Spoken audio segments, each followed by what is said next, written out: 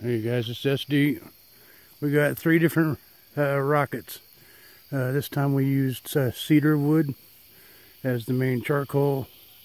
Uh, the mix on all three, it's uh, 65 potassium nitrate, 25 of the charcoal, and 10 of sulfur. And then we've got a small delay fuse on the top of that on the rockets. Uh, each shell is uh, under the 170 gram weight limit, so we'll see what happens.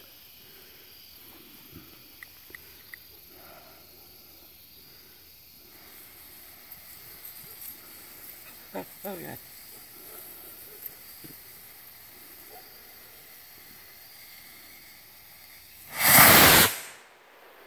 Holy smokes, that thing went up there. Fish. Oh, look at stick. Stick come down, straight down. That was pretty good. I think we got some good lift on that one, huh?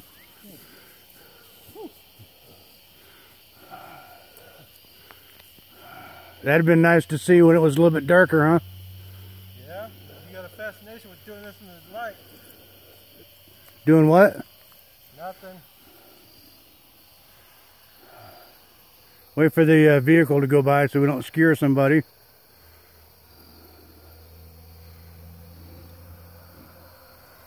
Thing had some serious lift on it, didn't it? Think we'll stick with that powder. Can you look on the side of the uh, shell and on the uh, rocket motor? It should say what the total weight is. 108 grams. Un- That's the rocket motor. There should be another number right by it. The 267. Yeah, that's total weight of the rocket and the shell. Oh, so it's 267 grams. Yep. You ready, Captain? Fire away, Gridley.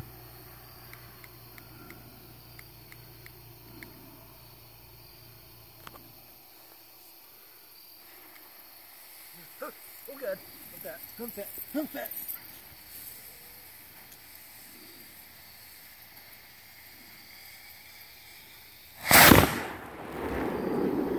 That's called a CATO. That's a little bit too hot of a charge. What'd you get, like two feet? Yep.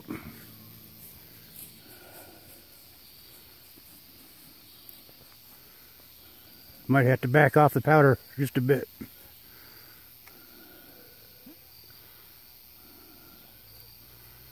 Yeah, save that one. I want to see what happened to the rocket motor on that one.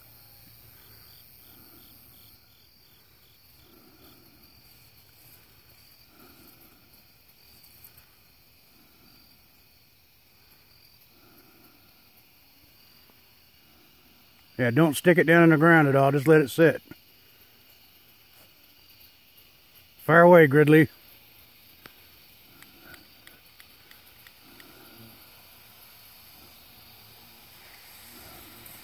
Oh, God. Stop. Stop stop